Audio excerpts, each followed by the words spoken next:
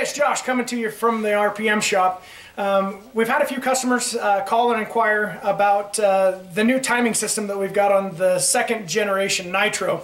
It's a split timing cable system, um, and we figured we probably ought to do a tutorial on how to swap these things out. Um, although they're super, super simple, we figured that uh, we better better walk you through it once before uh, before we get a bunch of them uh, out there. That being said, at this point we need to figure out which Nitro you have. Um, do you have a generation 1 or a generation 2? A real easy way to tell is this nylon insert in the riser here. If you see that nylon insert uh, on your on your nitro, it's a Gen 2 nitro. Another easy way to tell is looking at your top timing wheel. If it has the button head screw and the washer, then it's a Generation 1 nitro. You need one solid timing cable uh, instead of the split timing cable system like the Generation 2 has. Now, what we're going to do is we're going to tear down this, uh, this Generation 2 nitro um, and show you how to replace uh, the split timing cable system. So first and foremost, what we're going to do is we're going to take the grip off. So we're going to remove it. Um, take your Allen wrenches that come in your kit, back these screws off out of the grip. We'll take those out. This panel comes off. We'll set it off to the side, rotate it up, pull this back panel off, set it off to the side. Then what we're going to do is we're going to take out this nylon insert. And the way that you do that is you're going to take a screwdriver or a punch from the back side of the riser and you're just going to push on that nylon piece that you can see right down here in this groove. So we're just going to push on it. It doesn't take much pressure and it's going to pop right up and then you're going to slide it out of that track. And again, just set it off to the side. The next thing that we're going to do, and this is no different than a traditional uh, or the Generation 1 Nitro, is we're going to loosen up the tensioner set screw back here on this bottom uh, timing wheel. So we're going to back it out you don't have to take it all the way out, but back it out far enough that it's not going to give you um, any friction on that tensioner. So back it out, set that wrench off to the side, then get yourself a big flat bladed screwdriver, put it in that tensioner, and then back it out counterclockwise. You're going to see these cables come out of the back of that timing wheel. Make sure they come out as far as they possibly can, and you'll start to see them actually go back into the tensioner once you've got it all the way loose. So now that we've got it loose, what we're going to do is we're going to go up here to the top timing wheel and we're going to pull this cable out of the holes or the, the, the crimp holes in this top timing wheel. And again, this bow is still strung up. It's set at 45 pounds. Cam cables, saddle cables, the string, they're all intact. In fact, the timing screw is still intact. But we're going to pull these crimps out and then we're just going to back them back down through the riser itself. So what we're going to do is take this through the face of the riser like this and then we're going to go down through the the center of the riser. I'm going to rotate this over so you can see it. We still have the grip guide down here and the first one the first one of these crimps is kind of tough to get to go through there um, because of the tolerances but just wiggle it through there. Once you've got that out then the second one will come through no problem. And then I'm going to set this back up on, on the limb pockets and the same thing that we did on the Gen 1 Nitro, your, the tensioner, now we're just going to force it through. You can use a screwdriver, but I like to use something that's blunt, like a uh, like the 5 16 Allen wrench that comes in your kit. And then we're just going to force that tensioner out of the timing wheel and that crimp. And then you can take a screwdriver or what have you. And if it's if the timing cable's junk, I mean, shoot, you can just um, you you can just cut it and pull it back out. But that's the split timing cable system. Now what we're going to do is we're going to reinstall it. Basically just redo what we just did. So you've got the brass crimp. It's going to go into the timing wheel here. We're going to force it in to that timing wheel like that. And then again, using an Allen wrench or something blunt, we're going to force that crimp out of the timing wheel. And I don't know if my hat's in your way, but we're going to force it out so that you've got about a I don't know, half inch, maybe three quarters of an inch of cable sticking out of the timing wheel. Then we're going to grab the tensioner and we're going to set the crimp inside the tensioner and then we're going to pull the timing cable back out keeping tension on that, uh, that tensioner. And then what I like to do is grab a screwdriver and kind of center it up.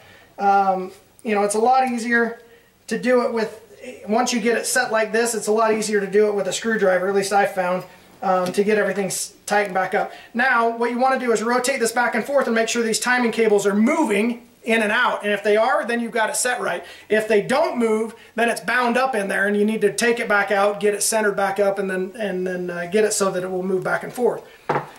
Now, what we're going to do is we're going to take these timing cables and we're just going to route them around this timing wheel on the back side of these cables. So we're going to go, let me turn this around so you can see what we're doing.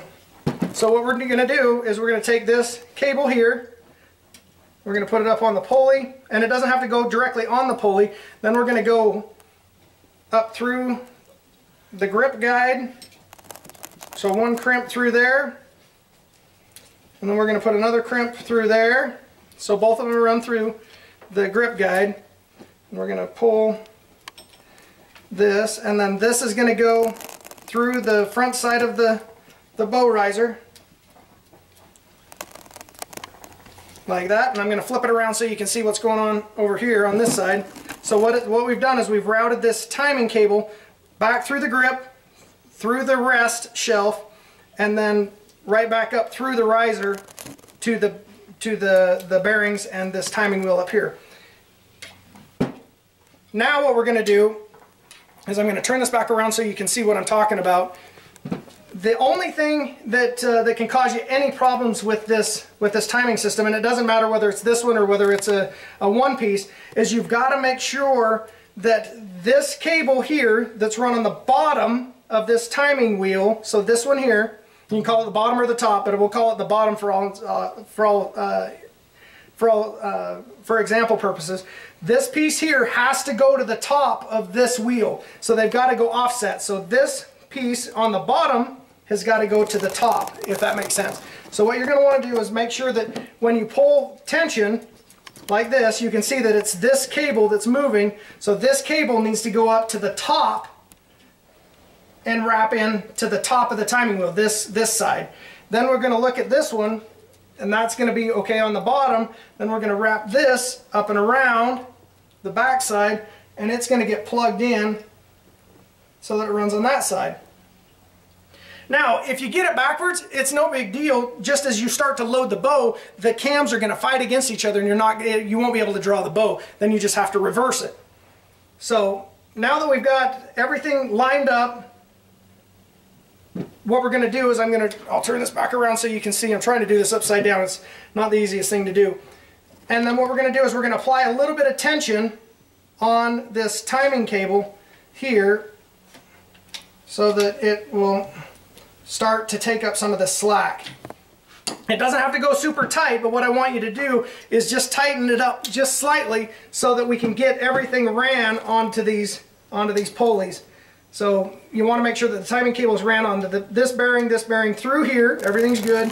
And then up here, everything's on the, the wheel, everything looks okay. Now I'm going to turn it back around and we're going to tighten this up just a little bit more. about there. And then you're going to grab your Allen wrench to hold the tensioner.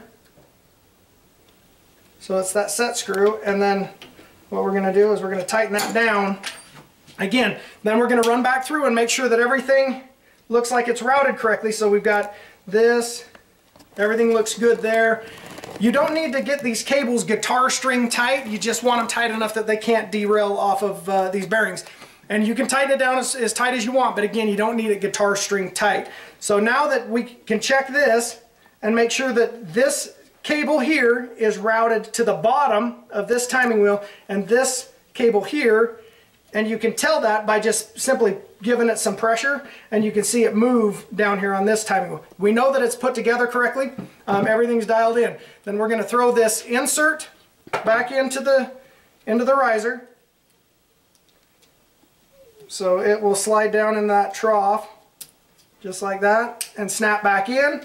Then we're going to install the back side of our grip like that. We're going to install the front side. We'll tighten that down just a little bit.